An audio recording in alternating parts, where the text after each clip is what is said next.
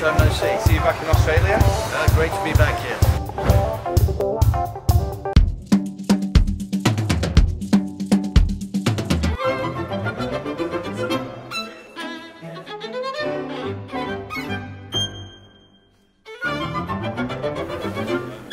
Hey Lewis, what gin would you like? Love something nice and dry, and if it's would still.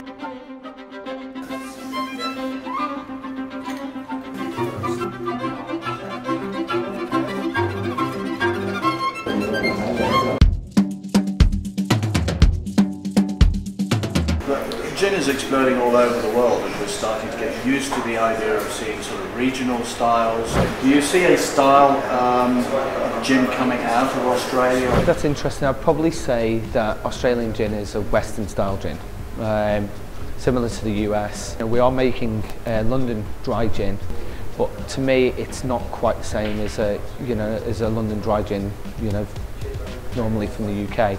So maybe at some point you might see you know a definition of this side of the world of what type of gin it is, but right now I'd say it sits in the Western area.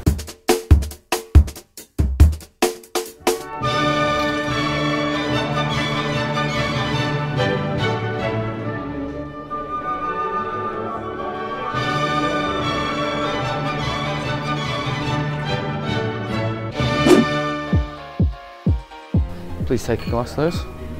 We'll pour you some of your, your lovely London dry gin. It's, it's our local Australian rare dry gin from the Yarra Valley.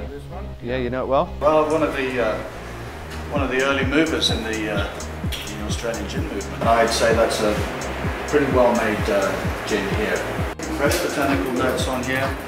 Um, not as strong a presence on juniper as perhaps a classic London dry. This one already tastes smooth because you pick it up on the on the nose, um, and I would expect the London dry to be uh, crisper. Uh, nice spirit notes coming through on the Hayman side. I'll have to taste these. Go right ahead.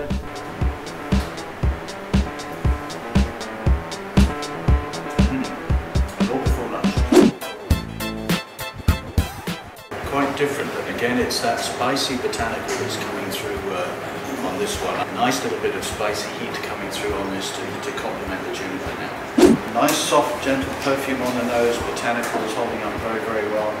And this one sort of uh, um, a crisper, uh, nice spirit base, which we know is English wheat. But again, classic English uh, dry style uh, here. I would say bright juniper forward with the Hayman's and uh, interesting um, mix of botanicals coming through here with a nice bit of spice in it. Uh, so real flavours, uh, if like, profile delivery here uh, and a concentration on bright juniper and dryness here.